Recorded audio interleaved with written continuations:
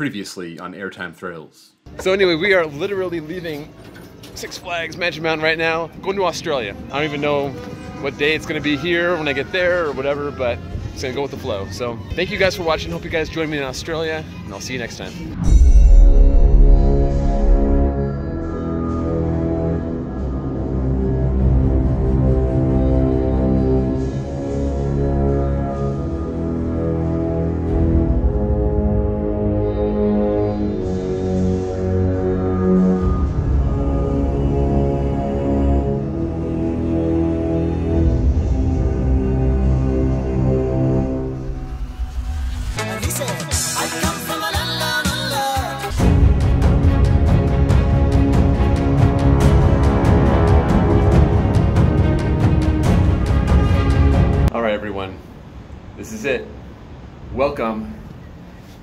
Sydney, Australia, and you can see the downtown right there. Opera House is somewhere over there. We got a cricket court right there, which is awesome. Maybe you can catch a match. Cause I, I have no idea how to play cricket. It's gonna be amazing to see if they actually like get something going down there. Cricket, it's like baseball, but you know backwards, or it's not. So it took about 24 hours to get from LAX to this hotel in Sydney. It was a crazy trip. Um, so far, Australia has been interesting. Um, first of all, they check your bags like way too much. Like they check your bags before you get in the plane, after you get on the plane, before you get in the next plane. It's like how many times you need to go through security is pretty crazy. They drive on the wrong side of the road here, and I say the wrong side, I know the left side, but even though I'm like the escalators even go up the opposite way of what you would expect, which is kind of bizarre. And the uh, McDonald's, McDonald's, they actually have, or as they call it here, Macca's. They actually have onion rings, which is like McDonald's has onion rings. That's weird. So, yeah, we got we're staying at the Sebel Hotel in Chatswood, and uh, we are like gonna hit the city for three days, and then we're gonna roll on to the Gold Coast. So, I'm gonna let you guys in on what Sydney's like, and then of course the main event here is Luna Park.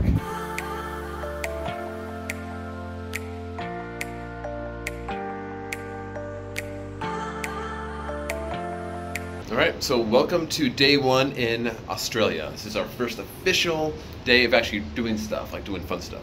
So, as you can see, here's downtown Sydney.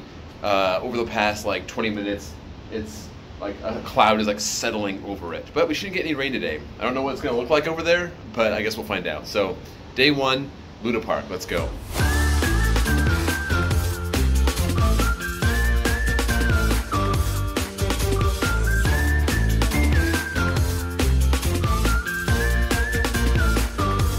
Trying to figure out McDonald's iced coffee here. You know, I love iced coffee. I'm a big iced coffee fan. Sorry, not McDonald's, Macca's. But they, this is like a latte. I didn't know they made cups this small. This is crazy.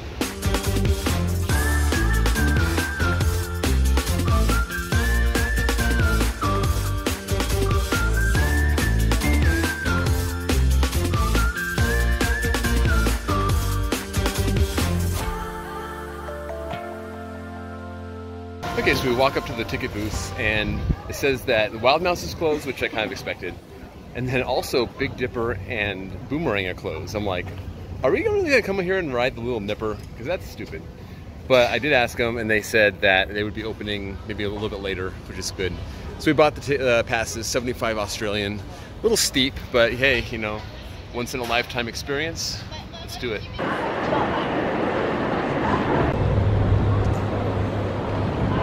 It's only fitting that my first ride in Australia is going to be the Little Nipper. This is a massive family coaster. Um, I'm just telling myself that so I don't get embarrassed. But if I figure if I lose my integrity now, I won't have to worry about it later. So uh, let's do it. There it is in all its glory, the Little Nipper. Shark trains and all. This is going to be awesome.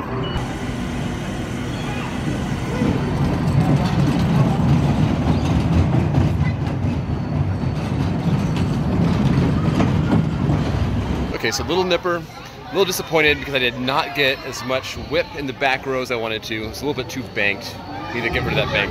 But first credit in the southern hemisphere achieved. I think next we're gonna do this crazy inverting pendulum. because it's open and it looks awesome.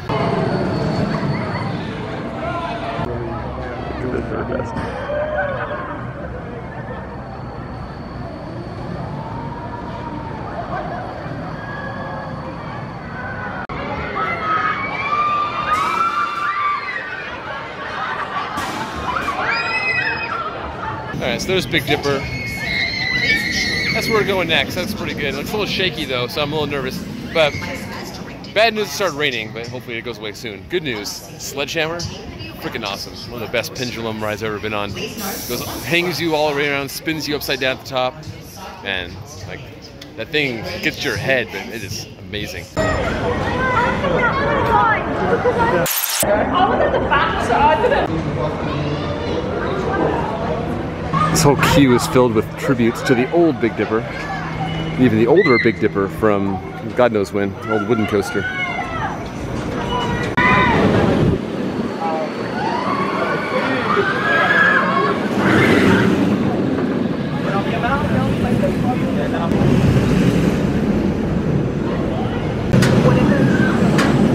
Okay, Big Dipper got a back row ride, and I heard that might be a little bit rough and shaky, and it was, especially around the, the, you know the inversions in the beginning.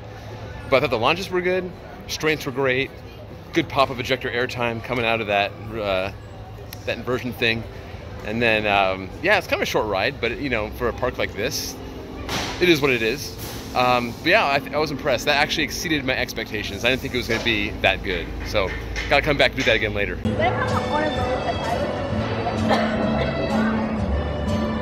So I knew I was not going to be able to ride the Wild Mouse coaster on this trip because they were restoring it. What I wasn't expecting is for it to be completely missing from the park. So apparently that was the entrance. Uh, there was like where the station was, and you can see it's just it's gone. Like they took it down and they're going to rebuild it later this year. So I would like to at least see it, but you know, yeah, there it is. You can imagine what it would look like right there.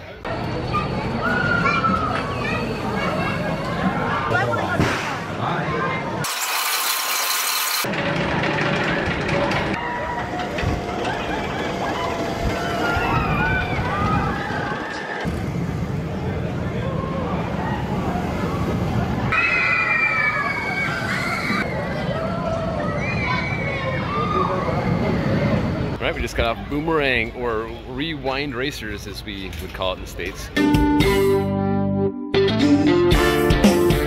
wanna go ride? Re, re, uh, you wanna go ride? Rewind? You wanna go ride? Rewind? How come I can't say that? Do you wanna go ride?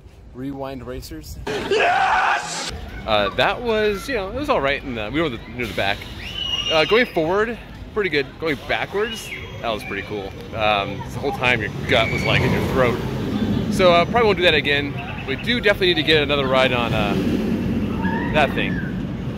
Because that thing was best ride in the park, especially as the wild mouse is like, you know, disappeared.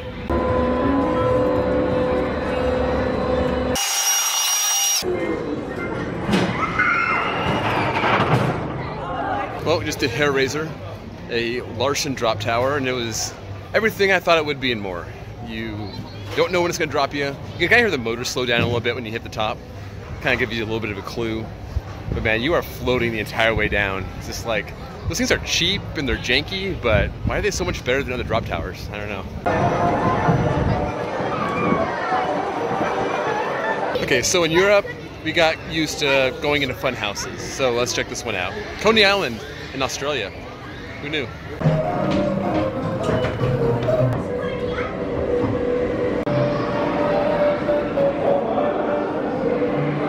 This looks like it's from 1950, which is before the Wild Mouse came in here.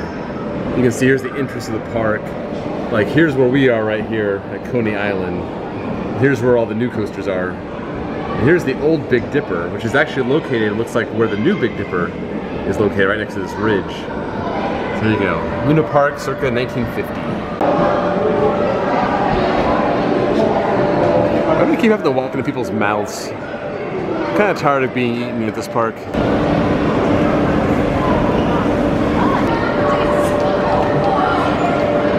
Unlike other fun houses, that one doesn't actually make you go through everything. You just kind of enter the building and then you have at it. You want to go down, down the slide? You can. You want to go on the crazy spinning thing or the rotor or the hall of mirrors? Have at it. But it doesn't make you, which is kind of nice. We haven't really waited in any lines today. This line for the Ferris wheel is quite large, but it's worth it.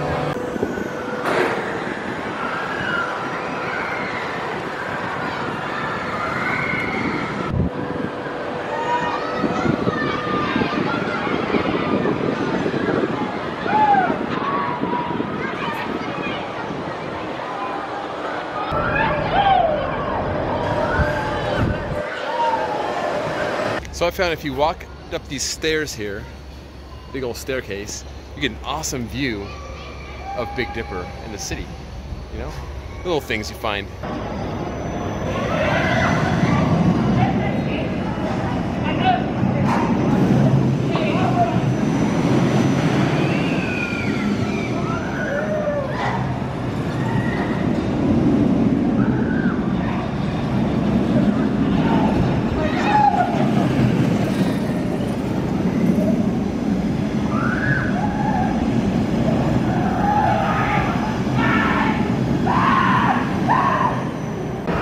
There's the wooden Big Dipper. This park's just chock full of history. And they have, they kind of like honor their history all over the place. This, these lap bars though, just remind me of Coaster at Playland. I heard they changed them a little bit, but those who remember, they know. They know what it was like. so the Big Dipper, we're in a second time in the rain. Of course, it was supposed to rain today, but of course, because I'm here, had to rain. Um, it's a really like it was more intense than I was expecting. Uh, but yeah, that rattle is pretty real, and it doesn't ruin the ride or anything. But it's just kind of like, why does it do that? You know, it's a brand new ride. So anyway, Wild Mouse. I think we're going to have to skip that today. Uh, we'll come back tomorrow, see if it's open. Um, it's not built yet, so um, my hopes aren't high. But you never know. Miracles happen. In the meantime, we got Pepsi freezes. We are going to head out. Been there for about three and a half hours. Gonna see what else Australia has to offer, so let's check it out.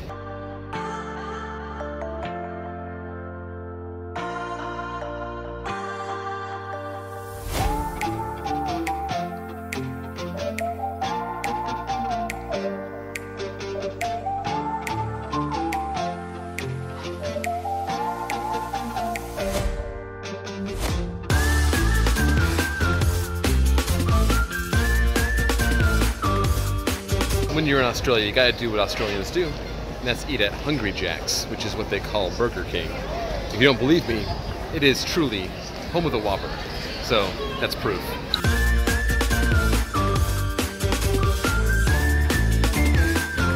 Well, here it is, one of the most iconic buildings in the world, the Sydney Opera House.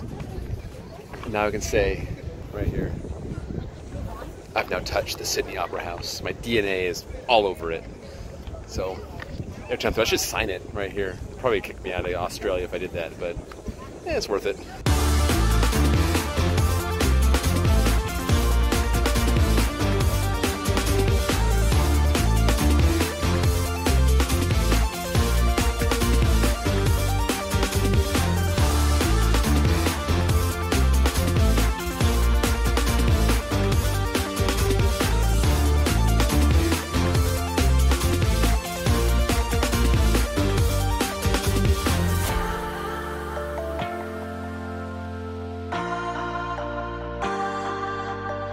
Just like that, we're back at Luna Park. The cool thing about this place is that if you get a wristband, then you get to kind of just pop in and out of the park anytime you want. So we've been gone for a little over two hours.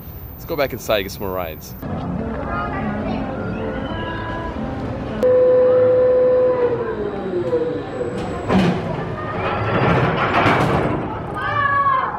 Okay, so we were gone actually for four hours, not two.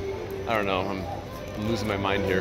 But it looks like the wild mouse is still not constructed It's from the time that we were gone, so it's not looking good. What are you gonna do?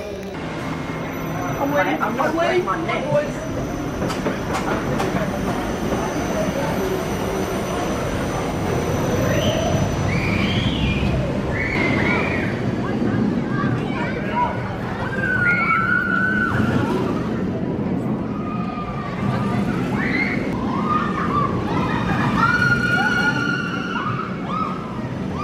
Okay, so we got one more ride on Big Dipper, front row this time. That was really awesome. Uh, much smoother up there, very forceful. It was really cool to see the track right in front of you. And then we got another ride on Hair Raiser, which, you know, I had to. It's Larson Drop Tower. It's a big rush. So we're headed out of here. Got gelato, uh, chocolate mint. It's pretty amazing. All right, so we're out of here for now. Uh, we're going to explore some more city tomorrow. So um, let's put together a montage. Three, two, one.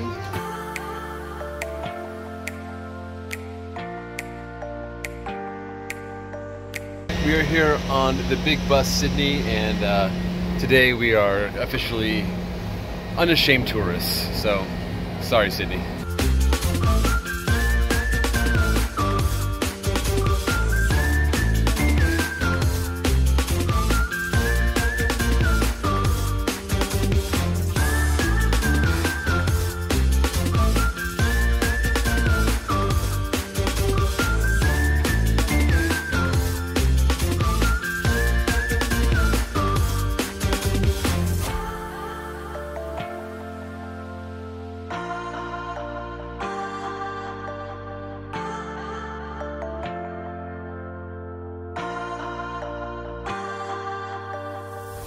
So I found Taco Bell, and that's a good fitting way to end my time here in Sydney. So, heading to the Gold Coast, three more parks, plus a cricket match. So, uh, hope you join me then. See you next time.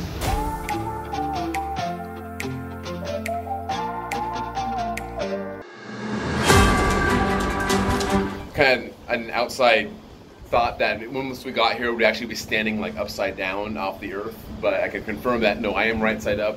Everything here looks normal.